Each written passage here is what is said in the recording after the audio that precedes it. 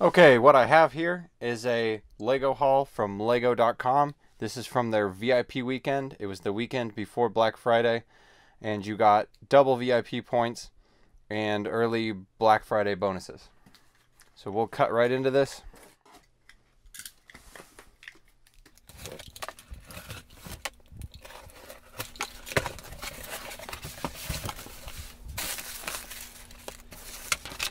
So I had some VIP points to spend, and with their new VIP program, you've got a lot more flexibility in what you choose to get with them. And I went ahead and got this Lego Store and Brick Built VIP card. It'll be a really fun set to have on display in my Lego office. Their Black Friday special, if you spent so much money, you got the Christmas tree set here. That's a pretty good deal because it's almost 400 pieces. They're little pieces, but that's still a fun set. You got presents, a little train, a tree with ornaments, and a star there. That will be really fun to build this set.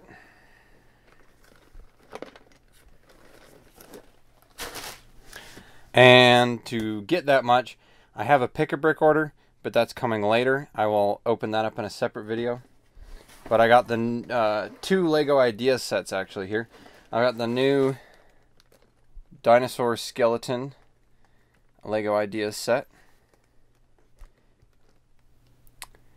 It's got a little skeleton adventurer there, and then you've got a scientist. And it's got a Triceratops, Tyrannosaurus, and a pterodactyl. Very fun set. I look forward to building this.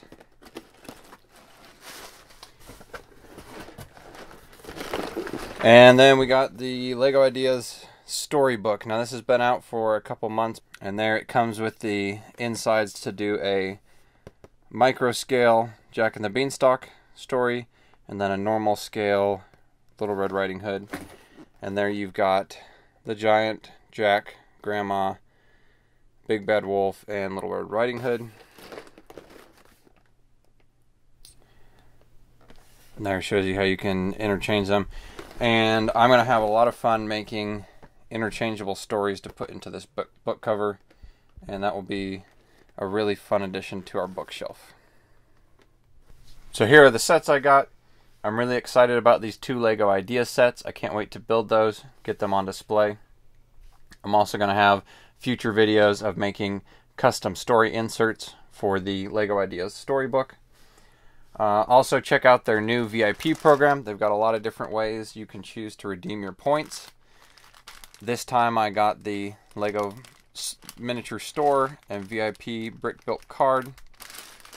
Also, uh, because you're a VIP, you get early access to a lot of uh, special deals. This is their Black Friday gift with purchase set that I got a week early because I was a VIP member.